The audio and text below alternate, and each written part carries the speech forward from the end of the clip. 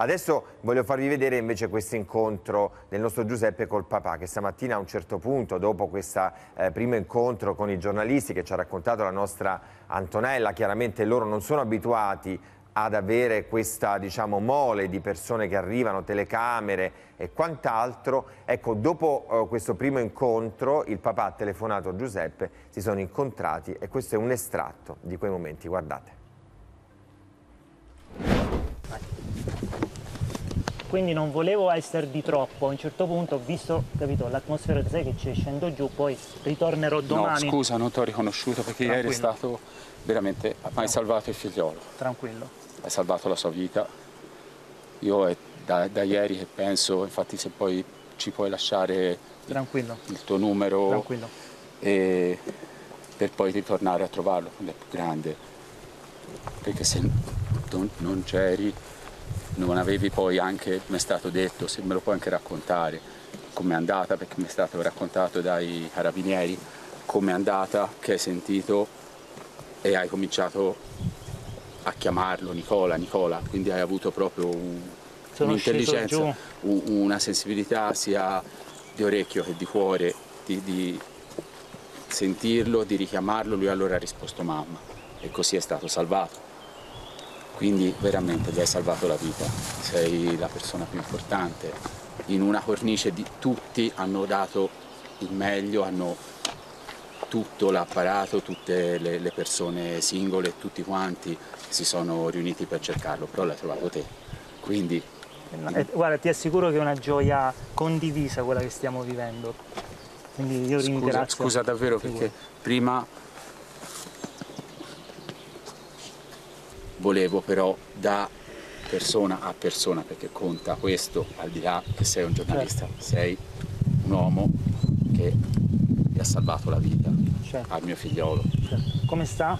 Benissimo, sta bene. Sei contento? Siete felici? Sì. Quello è l'importante. Sì. Adesso non vedi l'ora di stringerlo tra le tue braccia. No, no, ma già l'abbiamo già e di passare del tempo con lui, sì. quindi concentrati ora su di lui, sulla tua famiglia e abbiamo scritto una, un finale bello di questa storia. No? Quello è l'importante, basta. Il resto sono chiacchiere. Questo. Davvero, grazie. Sì. Giuseppe, vengo da te perché eh, poi mi hai raccontato che eh, ti hanno chiesto di tornare da loro eh, domani perché vogliono che tu passi del tempo col piccolo Nicola.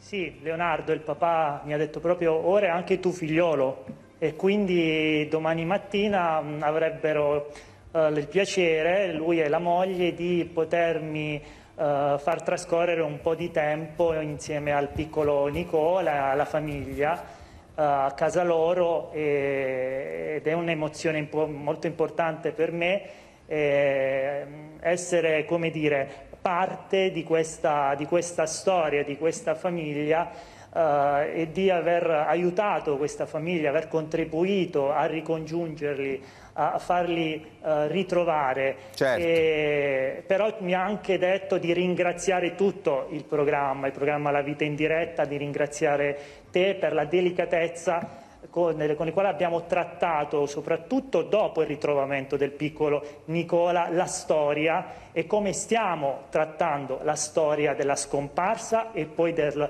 ritrovamento del piccolo Nicola. È una famiglia che adesso ha ritrovato il figlio, ce l'ha a casa e loro voglio vive, voglio vive, vogliono viversi questo momento in privato, senza telecamere, senza uh, il circo mediatico che si può creare uh, quando una notizia del genere si diffonde il che però, una notizia eh, del genere uh, viene raccontata. Certo, chiaramente questo però dobbiamo dire è inevitabile, quindi eh, bisogna anche comprendere che c'è questa grande emozione collettiva, questa attenzione, è qualcosa di incredibile quello che abbiamo raccontato, che tu hai vissuto, quindi è chiaro che le persone vogliono partecipare, certamente sono riflettori accesi per le prime ore, io penso che già dal fine settimana loro potranno tranquillamente eh, vivere uh, questo momento di ritrovarsi nella massima intimità che noi naturalmente rispettiamo.